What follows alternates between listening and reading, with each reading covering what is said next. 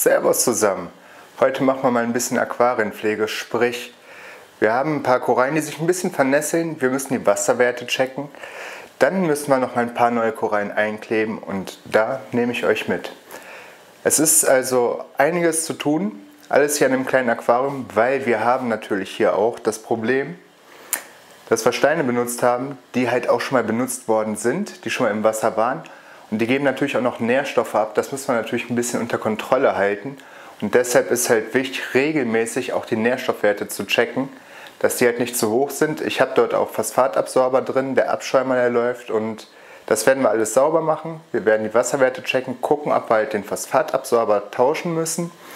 Zudem sind halt noch ein paar kleine Kugelalgen aufgetaucht, die wir auch entfernen und da nehme ich euch mit.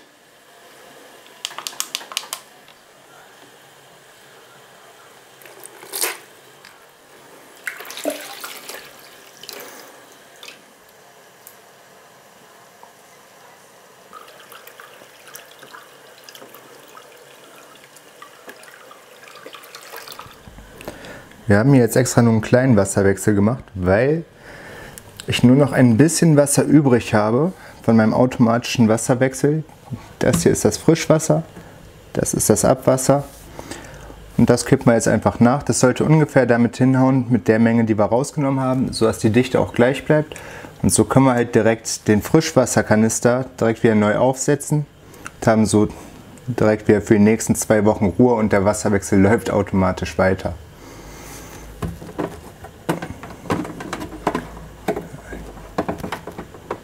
Und das brauchen wir, um das Wasser hier wieder aufzufüllen.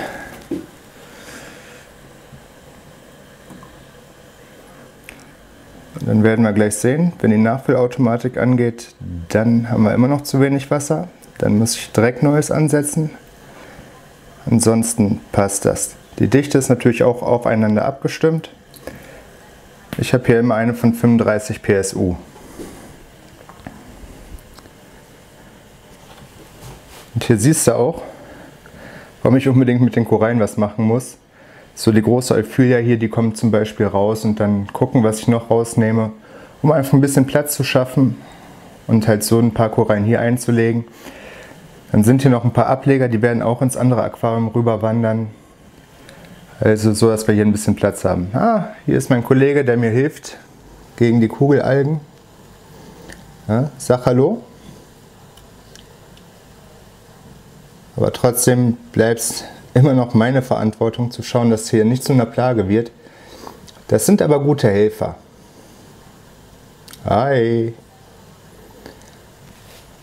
Guck mal, hier ist direkt der Kollege. Beide beisammen hier unter der Monty.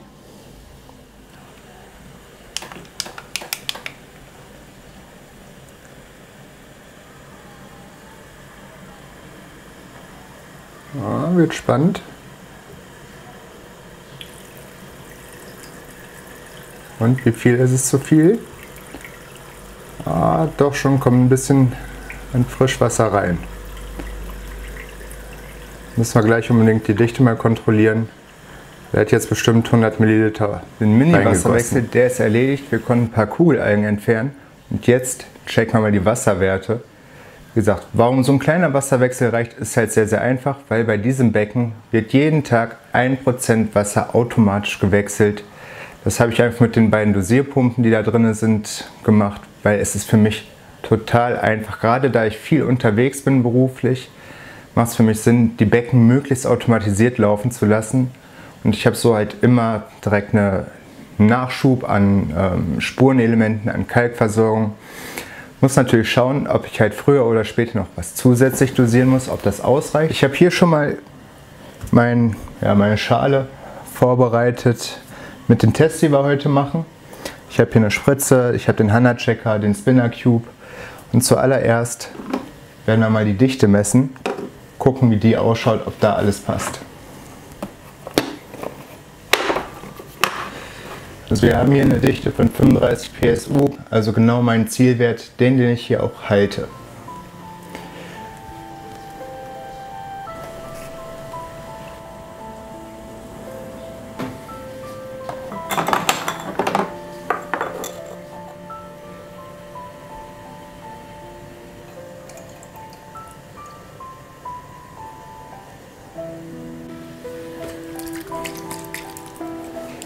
Hi Bixby.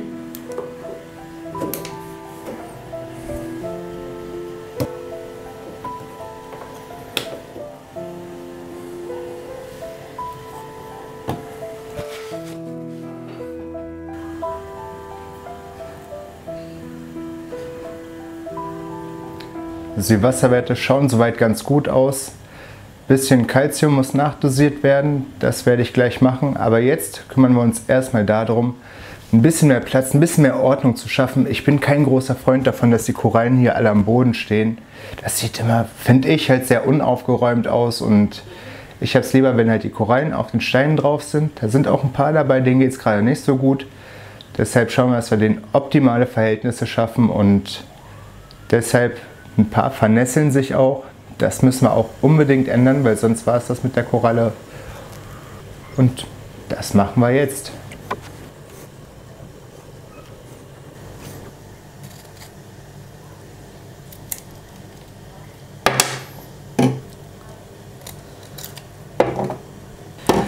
So, jetzt haben wir die meisten Korallen von Ablegersteinen getrennt, sodass sie halt nicht störend im Riff sind, sondern wir die halt schön einkleben können und das halt nicht ganz so furchtbar ausschaut, als wenn du jedes Mal einen dicken, dicken Stein drin hast.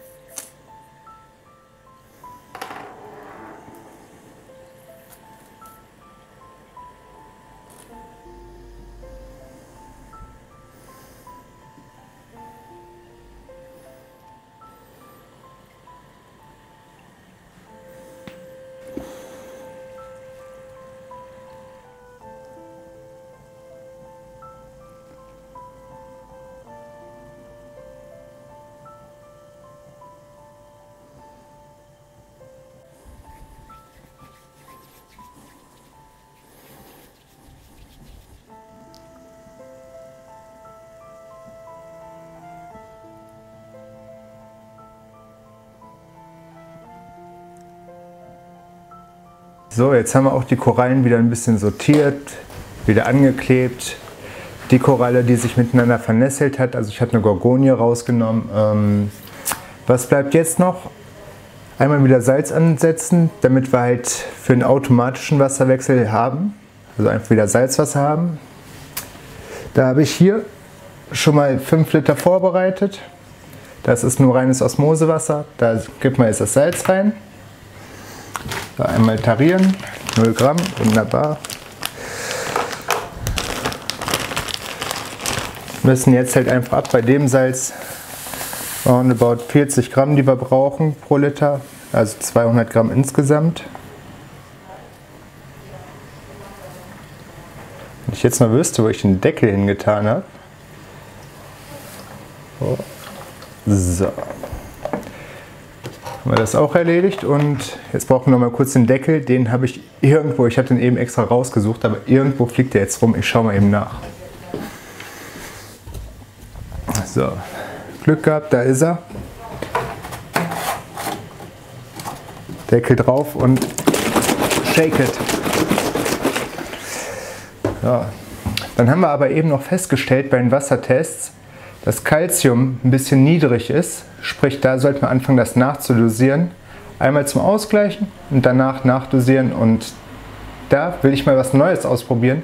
Vielleicht hast du schon Erfahrung damit, kannst mir da ein bisschen helfen, weil ich will es diesmal mit Kalkwasser probieren. Kalkwasser und das aber über die automatische Wassernachfüll, über diese, ja, über die automatische Nachfüllanlage.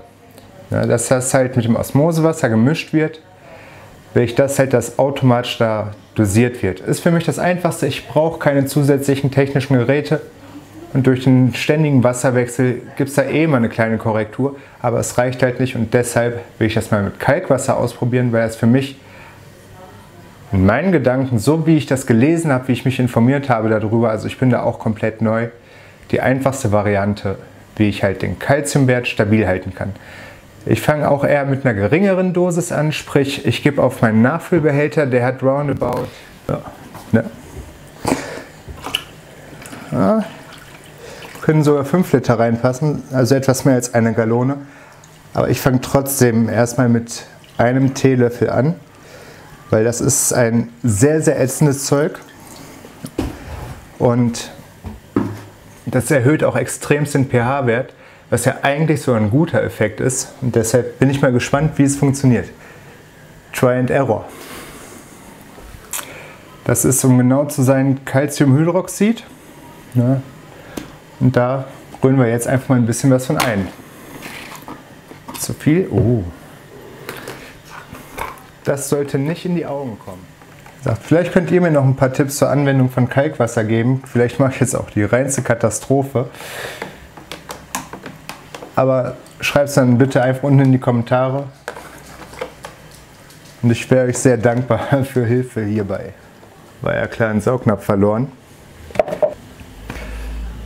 So, haben wir das. Jetzt nochmal ordentlich ähm, Salz schütteln, Dichte kontrollieren und dann kann das auch wieder rein. Dann können wir auch die automatische Nachfüllung bzw. den automatischen Wasserwechsel wieder anschmeißen. dann läuft das wie gehabt und dann nur noch Scheiben putzen. Dann haben wir es geschafft. Also unbedingt was Zuverlässiges. So, noch mal ein bisschen.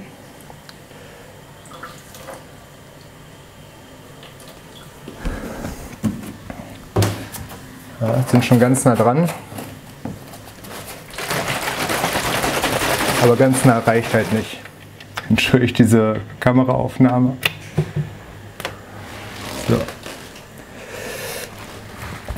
Der mit dem Orangenen ist der mit dem Zulauf. Lassen wir jetzt mal ein bisschen pumpen.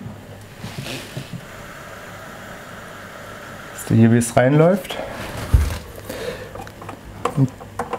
Der dürfte sich jetzt ein bisschen vollgezogen haben mit Wasser, sodass wir ihn hier schön jetzt unten hin platzieren können. Ich weiß nicht, ob du es auf der Kamera siehst, aber hier auf dieser Höhe ist der gerade so, dass der halt auch schön von unten das Wasser zieht. Mit dem zieht er raus, mit dem füllt er nach. Eigentlich, ich habe die gerade getauscht, tauscht man noch mal ein bisschen, weil es mir eigentlich lieber ist, wenn der, wo der rauszieht, vor dem ist, wo er reinlässt. Weil das Wasser strömt ja hier rein, der zieht hier raus. Das frische Wasser soll direkt ins Becken verteilt werden. So, dann zeige ich euch jetzt noch, wie das alles ausschaut, wie der Aufbau geworden ist, wie die Korallen da stehen, was da für neue tolle Tiere dabei sind und was sich so noch geändert hat. Aber wie gesagt, erst wenn die Korallen sich ein bisschen erholt haben,